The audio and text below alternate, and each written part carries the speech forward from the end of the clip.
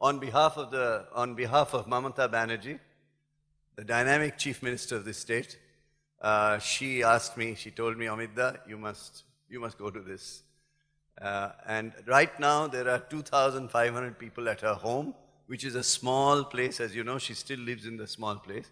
And morning she addresses their problems. So she must be up to her neck with uh, thousands of people, common people from across the state. That is why she could not be here.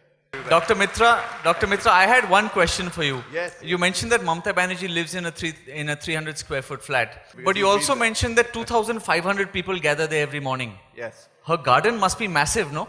No.